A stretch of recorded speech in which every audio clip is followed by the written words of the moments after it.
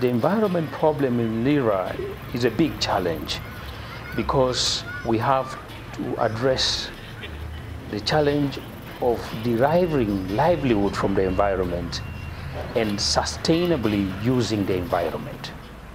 So we believe that uh, Living Earth and the Urban Livelihood Project had a huge contribution in terms of changing the attitude of the poor urban community towards valuing waste and environment.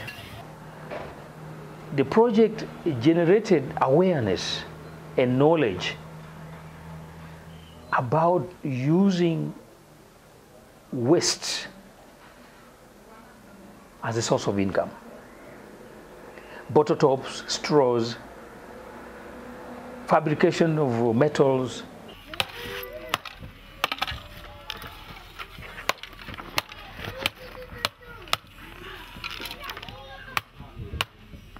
We advertise that we are buying scraps of aluminium. Then people go and look for it, they collect from where they have thrown whatever. In the villages, they come and sell to us.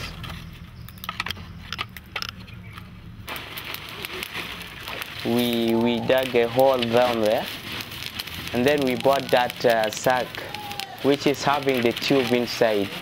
That when you pump the air, it passes through the pipe, then from the pipe that it goes and passes through those holes in the plate, then it circulates in the charcoals inside the hole there. So that to allow what? The charcoal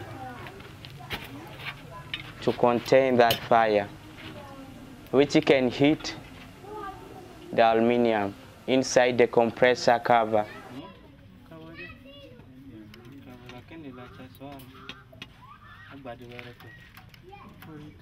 When you pour, it circulates inside. It passes this hole, through this hole, and then it circulates inside there. As the design has been, as the design has been made in that sun there. Yeah. Then it remains as the saucepan.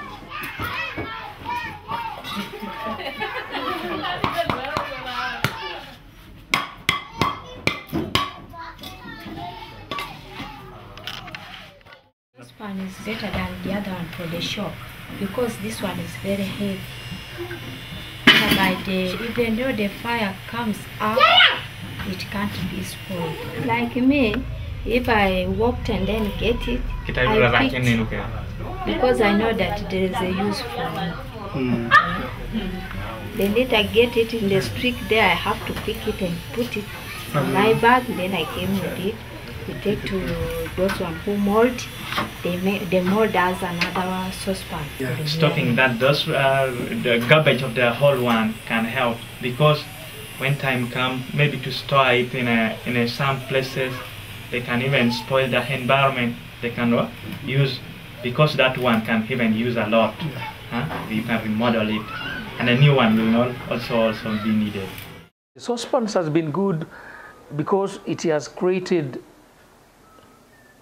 a model to be replicated by all the communities in northern Uganda.